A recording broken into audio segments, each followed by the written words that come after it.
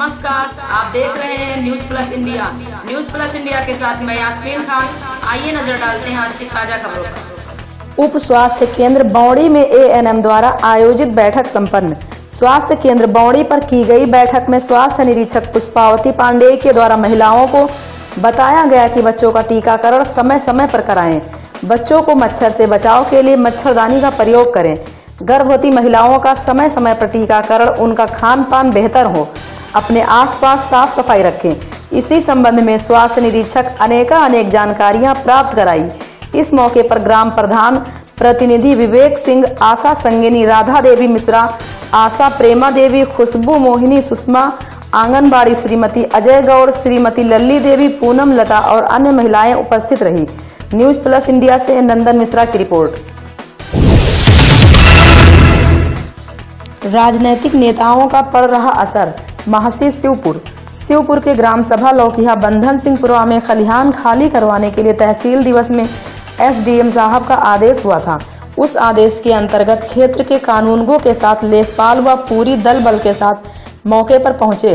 परंतु वहाँ पहुँचते ही राजनीतिक नेताओं का दबाव पड़ने की वजह से मौके पर पहुँचे लेखपाल व कानूनगो ने खलिहान पर कब्जा कर चुके लोग नेताओं के करीबी माने जा रहे हैं।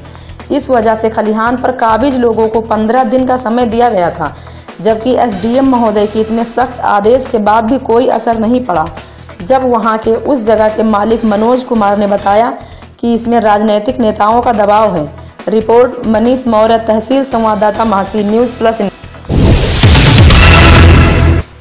खबर श्रावस्ती के गिलौला बाज़ार से आ रही है, जहाँ एक गरीब मजदूर की बेटी को कुछ आपराधिक लड़के अगवा कर ले गए। पीड़ित न्याय के लिए लगातार थाने का चक्कर लगा रहा है, पर दरोगा जी अपहरणकर्ताओं से मोटी रकम लेकर मामले को दबाने में लगे हैं। सरकार के नारी सुरक्षा योजना की दारोगा जी खुले आम उड़ा रहे धज्जियाँ। परेशान पीड़ित न्याय के लिए दर दर भटक रहा है। श्रावस्ती से दिनेश मिश्र की रिपोर्ट। साहेब भट्ठा पर काम कर रहे हैं। लड़की हमार, हम दीपरानी।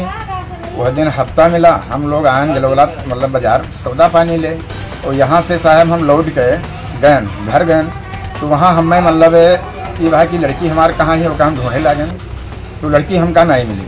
पाँच आदमी लड़के, लड़की को मतलब फरहार भग गए। और फिर वहाँ से जब हम थाना में आए, गलौला थाना में तो साहब बोले कि ऐसा है कि आप साहेब हत्या करो, जाओ गलौला थाना का तुम्हारा कोई सुनवाई नहीं है। हैं, कोई सुनवाई नहीं, साहब। हम दो, सात तारीख का मामला है, साहब। जब से हम चार, पाँच बार थाने में आ चुके हैं। कल भी आया तो फिर डांट के भगाए दिन हमारा तहरील नहीं ले रहे हैं कुछ कार्ड नहीं ले रहे हैं साहब कहते हैं आप जाओ तो आप जैसा हो जैसा आप करो हम नहीं जानते हैं कुछ। साहब वो पार्टी से साहब ये पैसा पाए हैं। किससे पैसा पाए और वो जी मतलब जो लड़का लेके भगा है उसका यहाँ मामला था भट्टा से। हाँ वो सब यहाँ आए थे उससे पैसा पाए हैं।